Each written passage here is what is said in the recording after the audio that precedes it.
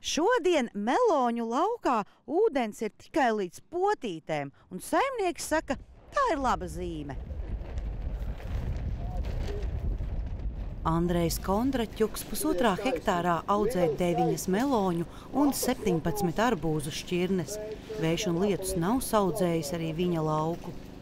Nu, es domāju, viss 30 metru sekundē noteikti bija. Noteikti bija raža. Pašlaik ir ok, ja ir saulīte un vējš, viņš žāvē.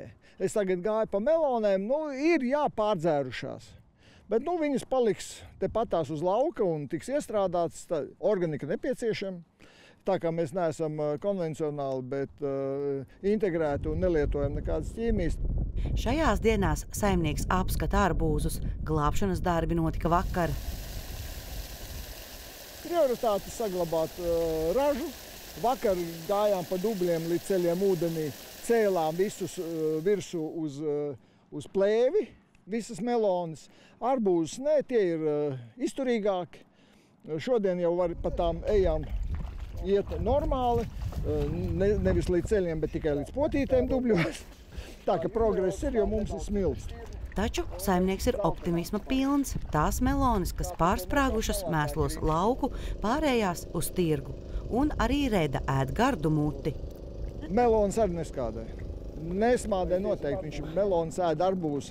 Nu, viņš diezgan daudz, kādu 3 kg arbūzu mierīgi vienā reizē apēd. Tad atraugājās un iet prom. Tu vari dot vai nedot.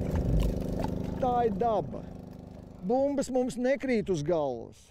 Neviens mūs nešauj. Un tā ir daba, kas liek sevi cienīt. Mums ir jāsadzīvo, mums jārēķinās ar to. Es arī tādas nelielas slinkumi, jā, re, kur viens putns lido. Tādi man šeit bija četri vai pieci. Nu, es taču varēju noņemt pirms tam nost, izraut ārā kātu, lai viņš guļ uz zemes. Nē, slinkums, vai neaizdomājos.